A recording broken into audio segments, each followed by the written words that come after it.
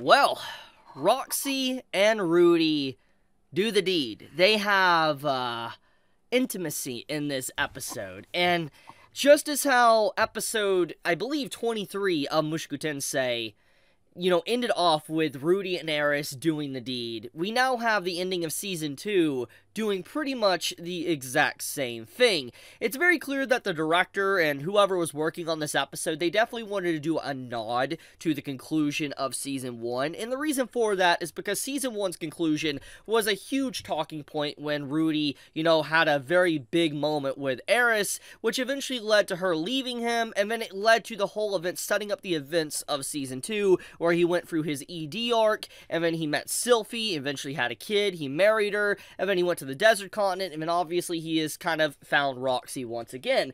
And so basically, everything about this episode, especially when it comes to this very intimate moment of like them being together and sleeping together in this moment, it's definitely just basically reinforcing the conclusion of season one, and that what this episode here is trying to do is set up events to come. For whatever's going to happen, it's definitely going to be heavily intertwined with Rudy's character and the decisions he's going to make, good or bad. So legitimately, this is such a fascinating way to almost conclude the series of season two, because I believe we only have one more episode left, which is very sad to think about because next week is going to be the conclusion. But um, yeah, these events definitely get very spicy and definitely make you wonder what really is going to happen next.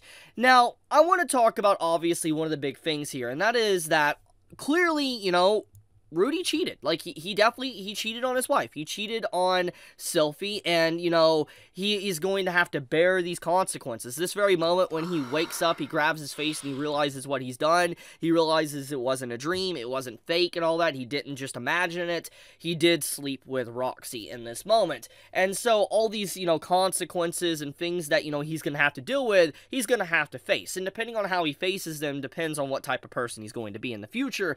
And in this case, he takes takes the best advice he possibly can, and he just straight up admits that, yeah, he's a cheater, and that he's going to just straight up admit it to his wife, Sylphie. And I think that this is a very fascinating take. It shows that Rudy's not trying to hide from his problems, he's not trying to run away, he's just going to confront them head on, and I think that shows a little bit of maturity, even if what led him here to making these mistakes isn't necessarily, quote unquote, a good thing. However, there is a lot of nuance, a lot of things that need to be explained when it comes to this episode, that there is some pieces of the episode that isn't properly explained thanks to the anime format. I'll talk about that later on in the video, but for now, let's get into how we got here. So basically, the episode starts off with Rudy reminiscing about his previous life, his parents, how they passed, and, you know, basically he's grieving. This whole segment here is just Rudy's like, I, he realizes how little he cared for his parents, and that it makes him feel incredibly sad and guilty. And then he thinks about Paul's situation, and he admits to himself he never viewed Paul like a father.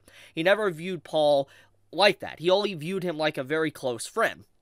Even though at this very point into the story, it was very clear that's how Rudy viewed Paul. He viewed him like a close friend instead of a parental figure he finally admits that to himself, but on top of that, he says that he really was his father. He he straight up says to himself that Paul was his father. And I think that is very important. It shows that even despite the guilt and sadness that he is facing, he admitted to himself that Paul truly was his parent and he respected him greatly.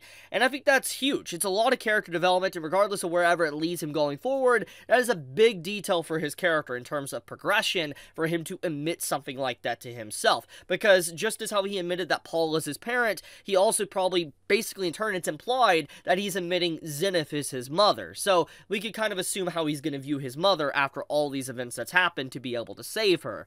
Now, let's get into basically after this little moment. So once we have this little segment with him reminiscing and feeling regrets, and we don't need every little detail to know exactly what he's thinking because it's very apparent he has like, you know, regret sadness, depression, anger, frustration, survivor's guilt. He has all of it. And he's wondering, even in this moment, you know, Paul should have shielded someone else. He should have shielded Norn, Aisha. He should have shielded maybe uh, Lise. He should have, you know, shielded anyone that's not him, anyone in the family. And on top of that, why did he leave behind the family when Rudy could have been gone and everybody potentially would have been fine without him? Which obviously is just a straight up lie. We know for a fact that Rudy's trying to lie to himself because obviously survivor guilt.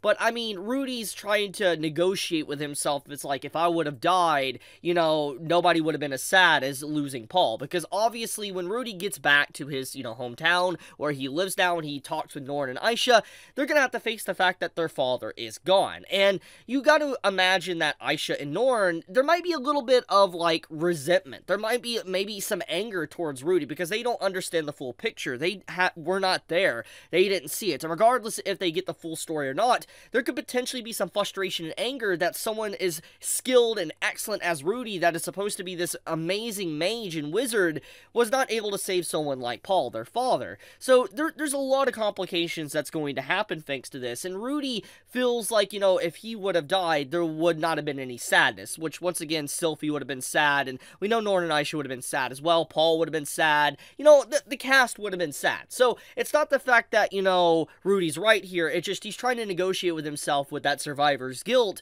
that, you know, it should have been him instead of anyone else. So let's get into a little bit of details here. So this episode, just straight up, showcases that a lot of time has passed since the events of the last episode. And what I mean by that is, is that we get up close shots of Rudy when Roxy walks in, and you can see that Rudy um. has not been, like, taking care of himself. Like, you take a close look at his face, you see it's sunken in, like his cheeks are sunken in. It's clear that he's not sleeping, he's not eating, he's probably not drinking water. He clearly has not bathed because everything about this segment, when they kind of key in on his wounds and stuff, that he hasn't properly cleaned himself. Like, you see blood all over his regular attire, and even if it is stained, you know, he could easily have gotten another shirt or something. So, it's implying that this man is legitimately just straight up not taking care of himself. That a passage of time has happened. We don't know exactly how long. It's very vague, obviously, and I feel like the episode could have went a long way to establish maybe two, three, maybe even a week or two have passed since the events of Paul's death.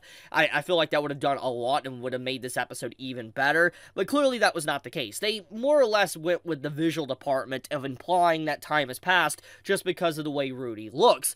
But with that being said, though, Rudy is not well. And he is in the rut. He doesn't know what to do. He's basically closing himself off. He doesn't really want to communicate with anyone. I mean, we even have later on the episode when he goes to meet Lilia and he talks with Zenith and all that, that, you know, he hasn't really been helping because he's just been depressed for a while. And it basically implies that, yeah, he's just completely shut himself off, which is very reminiscent to how he was in his previous life, which is what makes this beginning segment of the episode so important is that Rudy was about to get back into his old habits. And I mean, we even had this mentioning with Roxy before the deed happened here and all that. Roxy mentioned that she knew how Rudy was, that Rudy, you know, was someone that wouldn't be able to really just pick himself back up or anything, that uh, Rudy would just sit there, cry, and be alone. Which, as we remember at the beginning of the story, Rudy was a hikikomori. He was a shut in, he didn't leave the house and all that and the family property. We saw that even in this new world. But it was thanks to Roxy dragging him out and doing doing his test,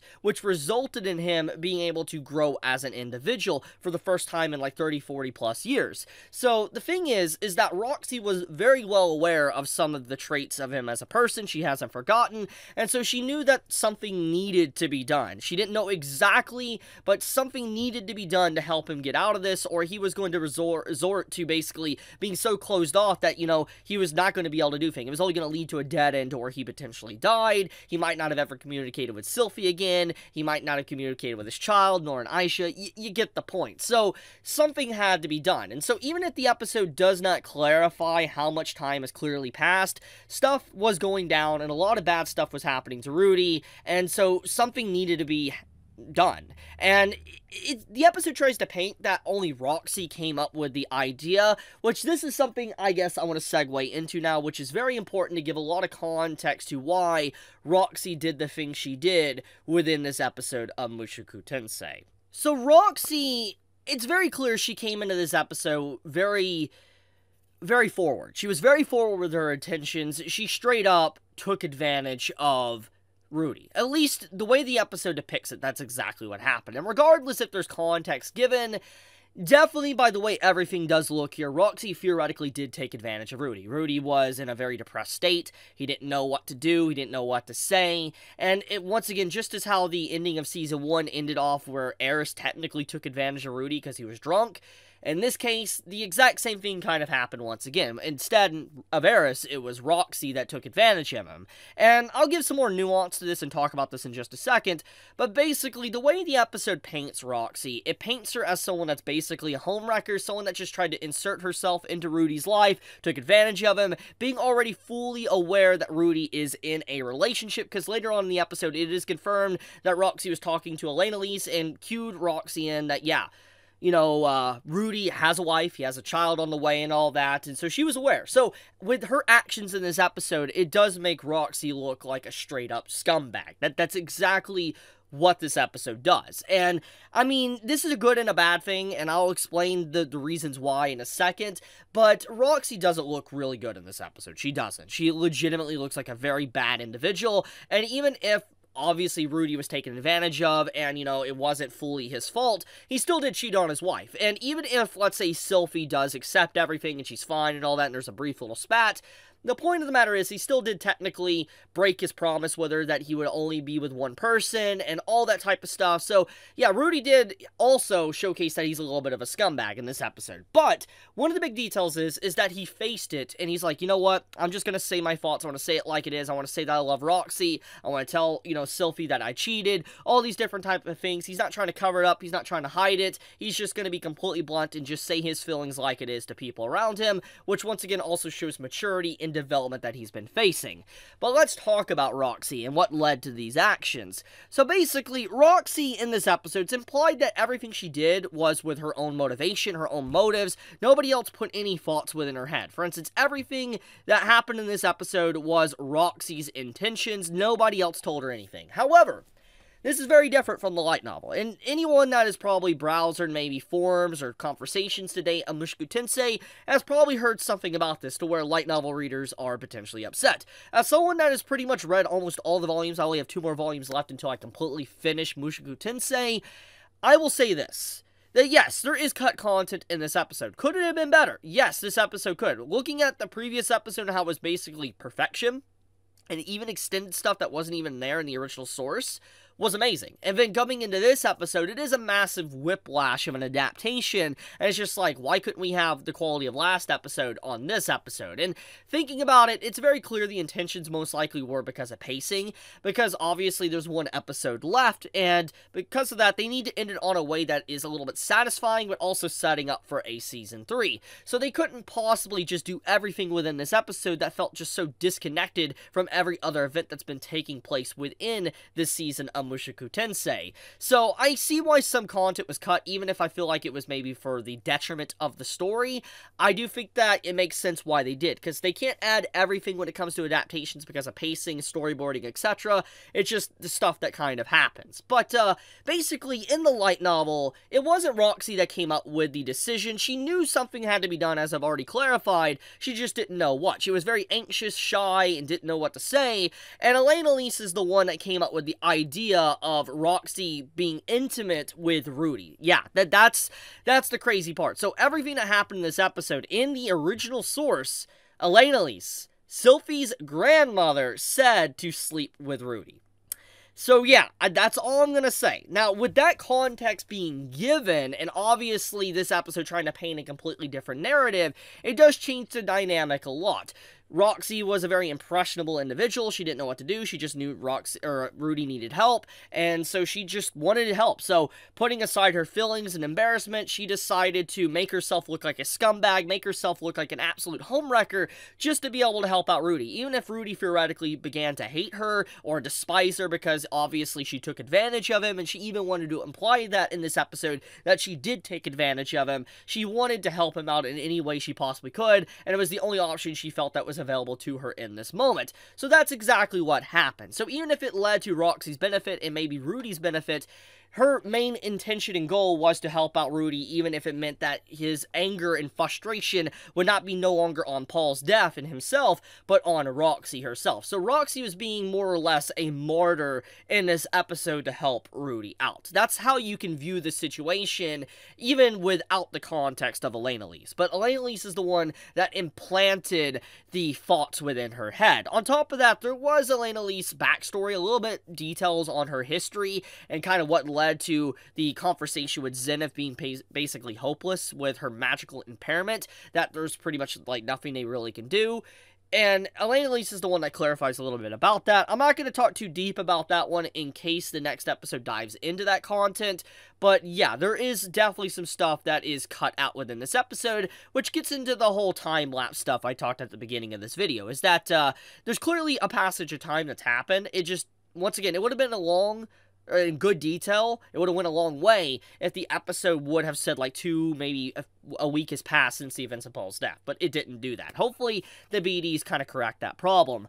But uh, yeah, anyways, Roxy and Rudy got it on, and uh, they went to Pound Town, so to speak. And jokes aside, this is definitely going to lead to a lot of complications going forward, because clearly, now that this has happened, I mean, Rudy and Roxy have to live with this detail, and even if, you know, he does marry her, it's going to change up the entire family dynamic. For instance, even if Sylphie welcomes Roxy with open arms and everything is fine, the dynamic of the living situation is going to be very different, because obviously Norn and Aisha is also there, but on top of that, you know, with the events of Paul's death, Norn and Aisha might have some resentment for Rudy even thinking about getting someone after everything happened, but it doesn't just stop there. Roxy's always going to have to deal with that she's the second place wife, because because obviously Sylphie was there first, and Sylphie is pregnant, so Roxy's gonna be very self-conscious about the fact that she's basically a homewrecker, and she potentially ruined the family dynamic and caused a lot of trouble. So even if, the, let's say, it's not entirely her fault, when arguments happen, Roxy might feel guilty or feel to blame if something happens with the dynamic between Rudy and Sylphie. So it's very interesting. I, I I love the complicated nature of what happened within this episode. Even if people might be quick to write it off and say this is bad writing, it legitimately is fascinating and good writing. And I can't wait to see how the anime adapts the content going forward. But uh, nonetheless, the episode basically is about that. It's just pretty much about that, where Rudy makes the decision that he's going to try to marry Roxy, and he just needs to get Sylphie's blessing. And that's where we're left on with this episode. And so next week is the finale. We got to see how Sylphie's going to react, how the family's going to react. It's going to be fascinating to kind of see how everything is done. But I'm going to leave it at that. Thank you so much for watching. If you enjoy my content and you want more of my content to appear in the subscription feed, do subscribe, hit that bell icon, leave a like on the video, leave a comment as well if you enjoyed the episode. And with that, Chibi out.